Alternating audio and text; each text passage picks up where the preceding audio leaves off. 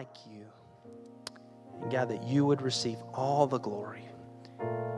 And it's in Jesus' name I pray. Amen. Amen. Well, good morning and Merry Christmas. Man, I tell you, the little ones are all excited like you just, they're about to bust, you know? And so uh, thank you for being here this morning. If you have your Bibles with you, open with me the Gospel of Luke, chapter 2, verse number 8. Amen. Luke chapter 2, as the staff was preparing for this service and for the service tomorrow night for Christmas Eve, they, they said, So, Pastor, is there anything different? I said, Well, the story's still the same. you know, we kind of really can't change the Christmas story and we can't change the Easter story. It is the true story. Christ came, Christ died, Christ arose, that we might have life. Luke chapter 2, verse 8 through 14. Simple titled message, Merry Christmas. It was God saying it to us as He said it to the shepherds. Now there were in the same country shepherds living out in the fields, keeping watch over their flock by night.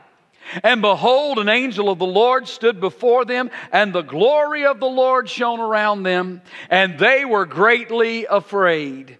And then the angel said to them, Do not be afraid, for behold, I bring you good tidings of great joy, which shall be to all people. For there is born to you this day in the city of David a Savior who is Christ the Lord. And this will be the sign to you you will find a babe wrapped in swaddling clothes, lying in a manger. And suddenly there was with the angel a multitude of the heavenly host, praising God and saying, Glory to God in the highest, and on earth peace, goodwill toward men. As you prepare for Christmas, I hope that you have stopped to worship the one that this is all about. The announcement comes. Can you imagine? You're minding your own business, you're doing your normal routine. These shepherds are, are doing what they do every night. They're, they're watching the sheep. They're out there. It's become mundane and routine. It's the same old thing every night. The sun's going to go down, the stars are going to come up. They have to watch for predators that would try to sneak in, the night and destroy the sheep. Hmm. I don't know if you've ever thought about it. Why the shepherds? Why in that setting? I mean, they weren't considered people who would be the greatest witnesses in the culture. They, they weren't the upper crust or the elite. They weren't the ones that people would run to and listen to. But you see, I think in their routine, not only was God bringing the message of the birth of His Son, but He was giving us the picture. The Bible says that we are the sheep of His pasture. The Bible tells us that our enemy Satan is a roaring lion. He's a predator seeking to devour those sheep. Oh, but the announcement of the Savior is the announcement of the Good Shepherd, the one who'll lay down his life for the sheep so that the sheep can be protected. What you see is a picture of who Jesus is and what he's come to do.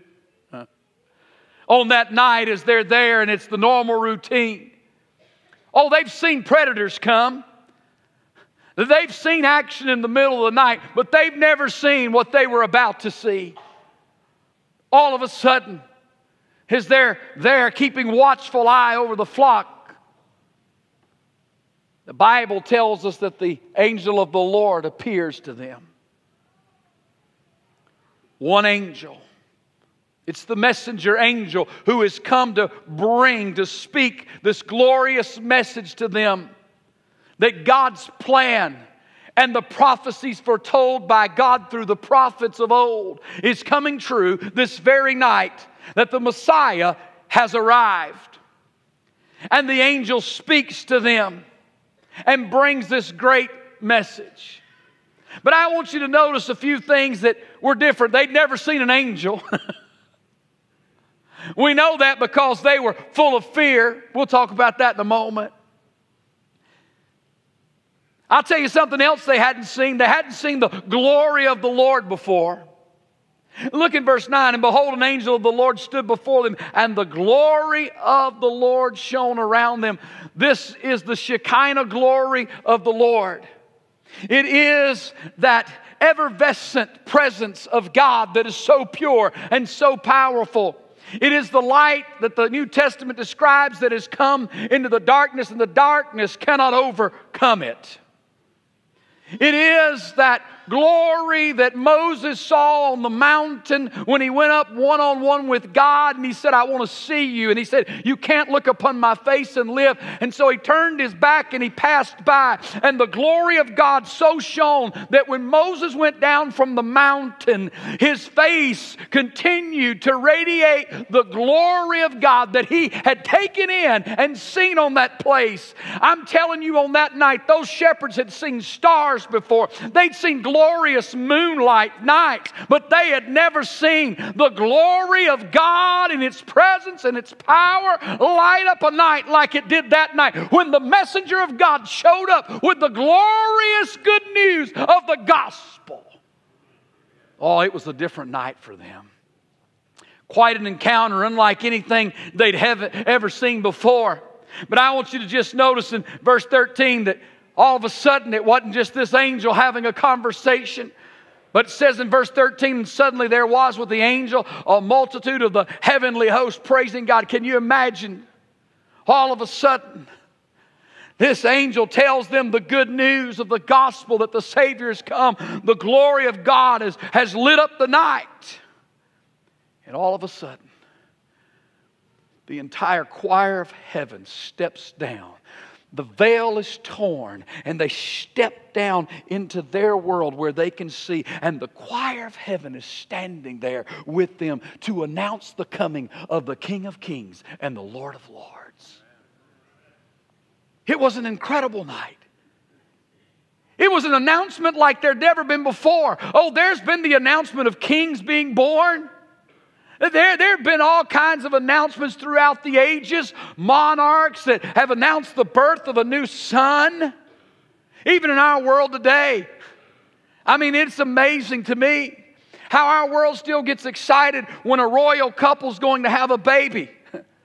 I mean, we fought the British to be free from them, and we, we, we're the ones that stay glued to the TV watching to make sure the new kid's going to be born. It's the craziest thing I've ever seen in my life. There's never been an announcement like the King of Kings. Never. With all of their money and all of their gifts and all, all of the things that they could produce, they couldn't produce the Shekinah glory of God in the sky. They couldn't produce the choir of heaven announcing it. They couldn't produce what these shepherds had a front row seat to. What an encounter! It's the encounter of Christmas. And by the way, it is the very thing that can happen to any soul in the dark night of your life that the glory of God can shine in the darkness of your heart and of your life and change your world with an encounter of Christmas that Christ has come to set you free and to redeem you and to save you. He's come to bring you out of bondage and out of darkness to set you free and to bring you into the kingdom of light. Wow. What a message. What an encounter.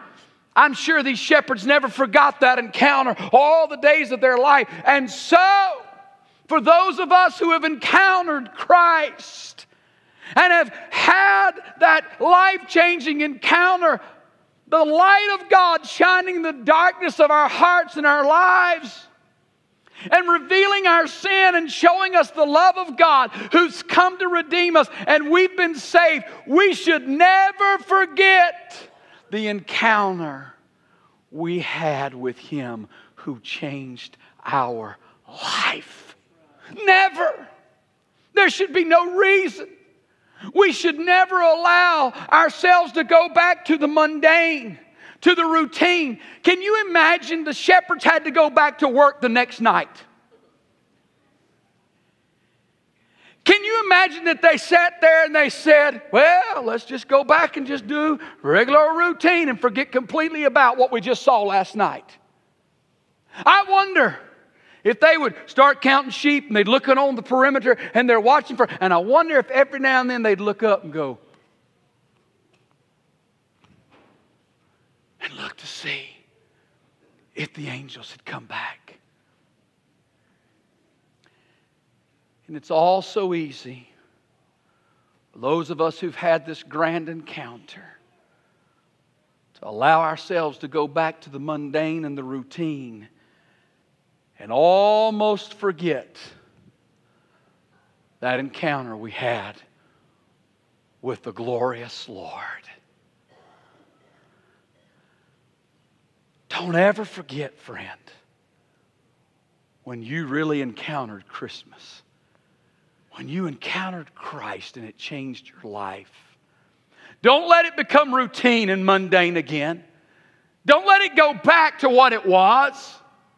It should propel us. It should change us. It should challenge us. It should change our future. It should change our choices. It should change our desires. It should change our passions. It should change everything about us because once you've encountered Him, once you've beheld Him, once you've seen it, nothing else will do. No other counterfeit comes close. Nothing else satisfies. Nothing else can touch you like that. When you've experienced what I'm talking about, when you've seen what they've seen, you can't just go back and say, I'll be satisfied satisfied with a few stars in the sky and a few sheep on the ground. Because when you've encountered the glory of a God like that, man, all of a sudden you can't just go back to being satisfied with the mundane and the routine.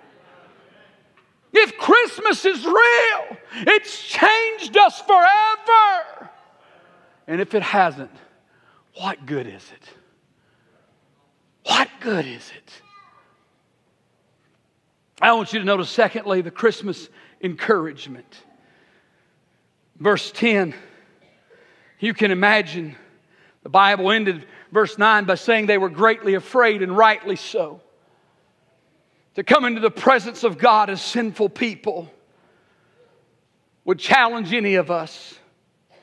And then the angel said to them, Do not be afraid, for behold, I bring you good tidings of great joy, which will be to all people. Just break that message down for a moment. The truth is that the shepherds had every right to be afraid in the presence of the Shekinah glory of God, this holy presence. And so should all of us. In our fallen, sinful nature, we cannot stand in the presence of holy God. In fact, to bring our sinful selves into His presence is to expose our sin all the more. How many of you realize that the reason that we sneak away and crawl away from the things of God when we're backslidden and when we're not doing right in our life is because we don't want to get closer to God. We want to get further from Him because it makes us, it makes us feel like our sin's not quite as bad as it ought to be because in the shadows it doesn't show up quite as staunchly. But when you get closer to the Lord and the glory of the Lord shines in the heart of our lives and it shines on our thoughts and it shines on our motives and it shines on our actions, all of a sudden we begin to realize even what we thought was okay in our our life is far from the holiness of God.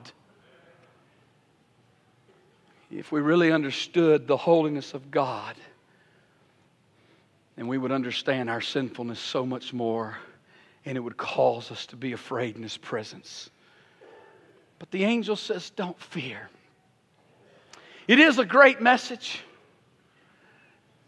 You see, the truth is, the Bible declares that we are enemies with God separated from Him by our sin.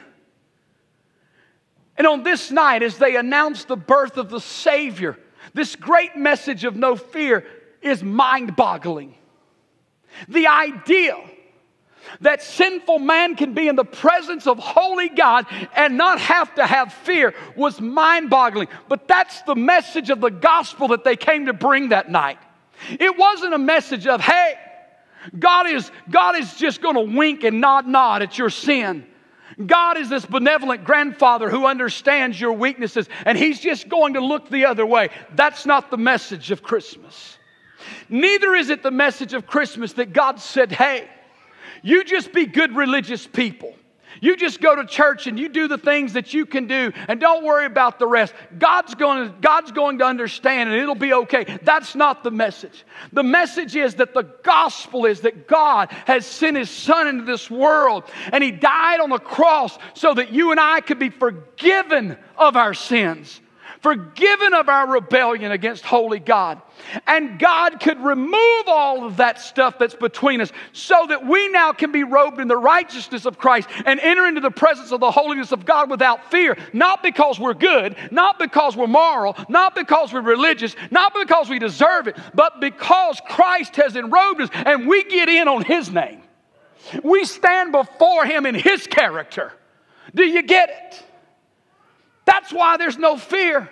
The good news is you can come before the Lord now because of Christ. He says, I've got good news of great joy. What's the good news? The good news is that God loves us and that God is for us. Think about it. If God didn't love us and left us to ourselves, He would say, You figure it out. You chose to live in rebellion against me. You chose this life. You chose this path. You figure it out. Here's the truth if God had left us to our own designs, then hell would be our home for eternity.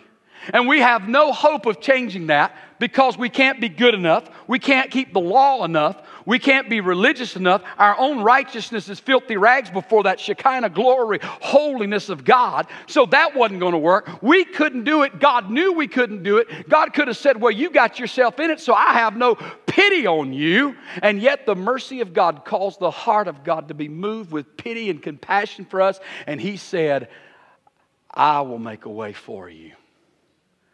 That's the good news, folks, of great joy. You can try and strive all you want to, but the good news of great joy is when you can't and you can't, and when you couldn't and you couldn't, God did. Hmm. And finally, this Christmas encouragement from the angel is that this message, this good news, this gospel is for all people. It's for you. You say, Preacher, it can't be for me. You don't know me. You don't know the stuff that's in my past. You don't know the stuff that's in my life. You don't know the stuff that's in my mind. You don't know the stuff that's in my heart. You don't know the things that I've done. I'm here to tell you that God said this gospel, this good news of great joy is for every single one of us. It's for everybody. It doesn't know boundaries of countries. It doesn't know boundaries of nationalities. It doesn't know boundaries of social or economic dividers. This gospel of good news is for everyone. Don't you get it? It's from the shepherd field to the palace. It's for everyone in between. This good news is for all people, for any who will receive Christ and be forgiven of their sins. It's for all of us. Thirdly and finally, I want you to notice the Christmas exaltation. Hmm. The Bible tells us in verse 13 and 14, and suddenly there was with the angel a multitude of the heavenly host, praising God and saying, Glory to God in the highest, and on earth peace, goodwill toward men. Wow. I just want you to stop and hear this for a moment glory. It's the Greek word doxa. It means to honor, it means to praise, it means to worship. The angels said, You need to honor, you need to glory, you need to praise the Lord for this good news. That this God would so love you and see you in your desperate situation that He would come to get you and redeem you in spite of your rebellion toward Him. I want you to think about that a moment that God didn't come and get us because we were good. God didn't come and get us because we loved Him. God came and got a group of people who had chosen to rebel against him, thumb, thumb their noses at him, live against what he's taught them. The Bible even says the only reason we now can love him is because he first loved us. It wasn't our love for him that compelled him to love us. He loved us when we despised him. He came for his enemies, ladies and gentlemen, to make us family. Think about it. We ought to worship him and we ought to give him praise. We ought to give him glory. We ought to give him honor. And he says, Glory to God in the highest. The Greek word is hupsistos, and it means in the highest rank or order. Here's what the angels are telling us we ought to give God glory, honor, praise, worship of the highest rank. You know what that means? That means there's nothing above him. That means that we honor Him uh, above our own selves. We honor Him above our career. We honor Him above our passions and our desires and our want. We honor Him above our teams. We honor Him above our marriage. We honor Him above our children. He is God and God alone and He is worthy of our worship and our praise, and there's nothing above Him. There's nothing that we want more, desire more, love more, care about more, honor more, praise more, worship more, give more time to, more attention to, give more passion to, give more of anything, including our resources to. He is the one that we praise, worship, and honor in the highest regard. Anything else? Anything else? Is wasted. God doesn't want nor will He accept the crumbs. God has come with great news. He's made the greatest of all sacrifices. He gave His Son to die for you. He didn't die for you to say, Thank you. I've now got fire insurance. Merry Christmas to me. And then go out and live however you were living before. He didn't do that. He didn't come and send his son and sacrifice him on the cross to die so that you could then go out and say, Oh, well, I, look, I've got heaven taken care of. Now I can do what I want. I can get all my wants and I can get the things I'm passionate and thirsty and hungry for. And I can fulfill all of my desires. No, no, no, no. He came for you to die to yourself. And if He's given you real life, ladies and gentlemen, the gift of Christmas so takes over your life that the old things have passed away, the scripture says. And behold, all things are made new. Hmm. Rarely does a gift change our lives. Hear me, I'm almost done. Rarely does a gift change our lives. I want you to think about it. Those of you that are older like myself, right? You remember do you remember that one great present somewhere along in your childhood that you wanted? Well, did you get it? How long did it satisfy you? How long did it thrill you? A week? A month? By next Christmas, did you even remember that you'd wanted it last Christmas? See, those of us that have been there, some of y'all got these new babies. So, a couple of days, Santa Claus is going to have stack about this high because y'all got excited.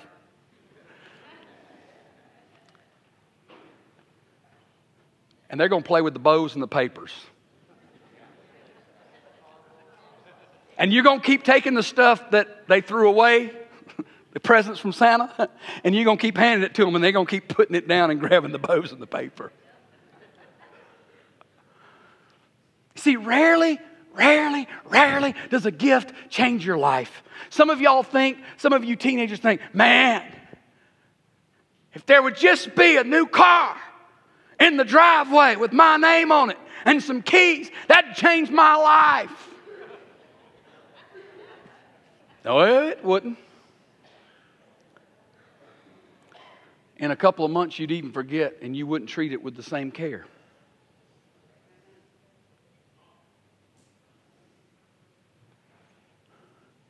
And in a few years, when you've worn it out, By then, you're old enough to buy your own car, you'll trade it in, and you'll get another one. Rarely does a gift change our life. In fact,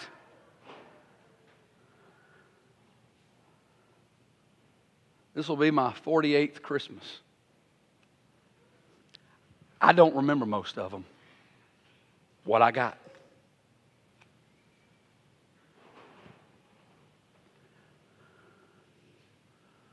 But this fall that just passed, in fact, last month,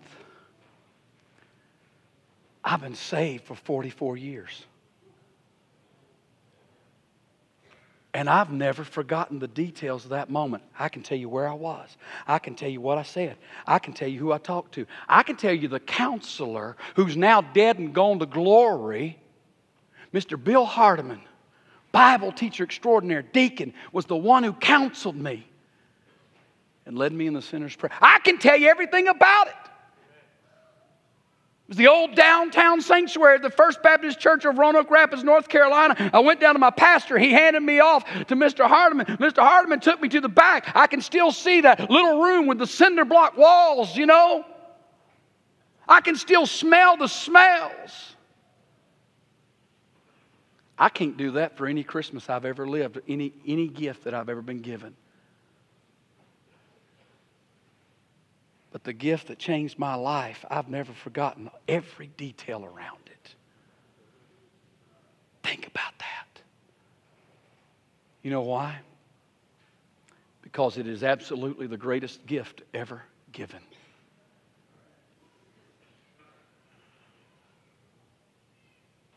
And if you've never received it, there's no time like Christmas. The angel said, Now, because of this, there can be peace, goodwill toward men. Ladies and gentlemen, the Bible says for those of us who are not in Christ, we're enemies of God, we're at war with Him. There is no peace with God.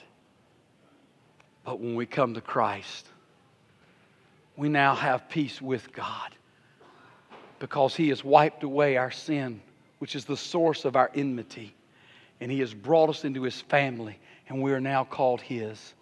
The goodwill of God that He's willing to sacrifice His own Son so that you and I could be forgiven.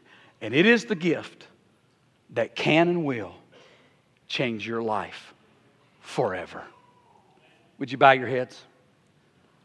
So, Father, now we come to this time. We praise you. We thank you. Christmas is all about you. That you loved us in spite of ourselves.